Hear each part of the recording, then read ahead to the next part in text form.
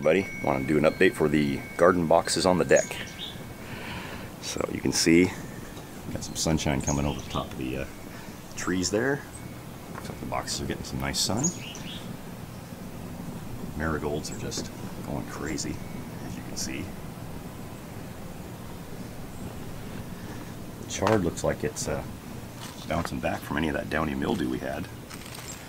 So that's good. I wanted to make sure I want to try and keep this alive over the winter.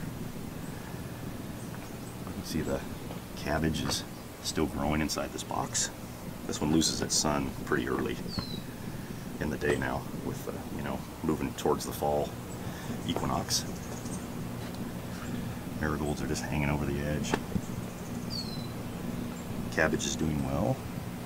You can see you got some nice stalks. We pretty much thinned this down to the to the nubs for the cabbage or the kale and I'm thinking that I'm actually going to take anything that's in here in this area I'm going to replace it with that some of the broccoli. I'm going to intersperse the plant some of the broccoli in here in some of the areas like maybe down underneath some of this taller cabbage.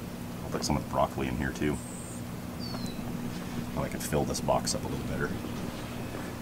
As you can see these once these marigolds get to a certain height they're pretty much leaving exposed all of this area down here to get sun which will be a good area for that broccoli to grow from. But the uh, cabbage is doing really well up here. Got some nice color on these leaves. I'm excited to see how we're going to be able to actually harvest some of this for winter. To see if, you know, this will give us some nice nice greens because the kale, this one here, this is the, uh, the Vates kale. We've been eating a lot of this this week. I mean, you can tell it's really thin.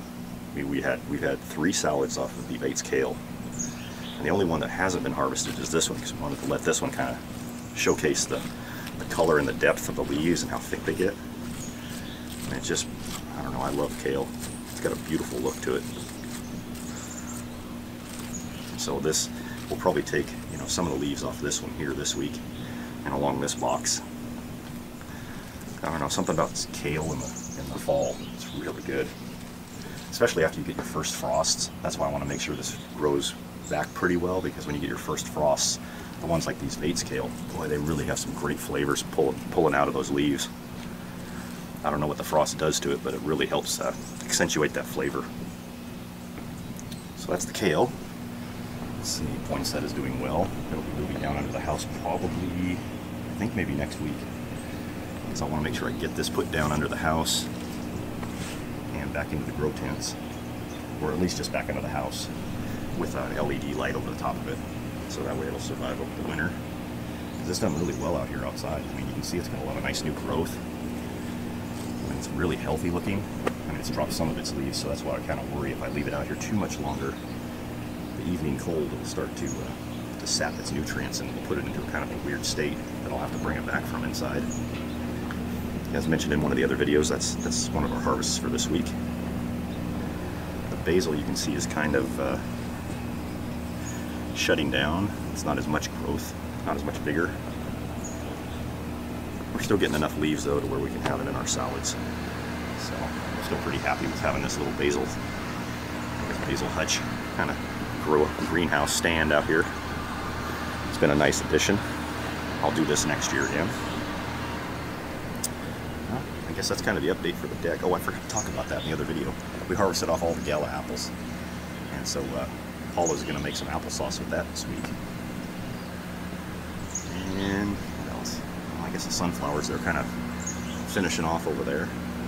They're pretty much done for the season. The grapes and the, uh, the kiwi are really starting to fill in that trellis over there. I'm going to end up having to probably put in another uh, cable and a stake over here to actually pull that tight because the uh, kiwis and stuff, they're starting to weigh that down. So Paula's worried that it may collapse, and I don't think it'll collapse, but I'll, I'll, uh, I'll do as she asks. All right, everybody.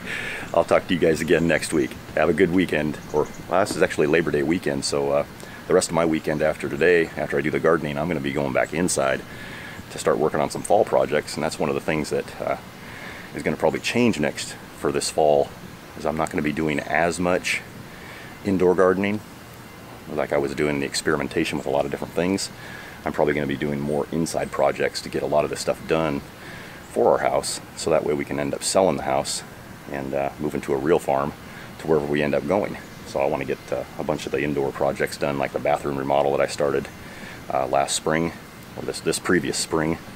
I started working on that, and that's pretty much been on hold since then. So I need to finish that bedroom downstairs, the old master, along with the uh, the master bathroom in that room. Get it done, and then move on to the next projects because we want to get this house complete and move to a farm. All right, I'll talk to you guys again. Bye.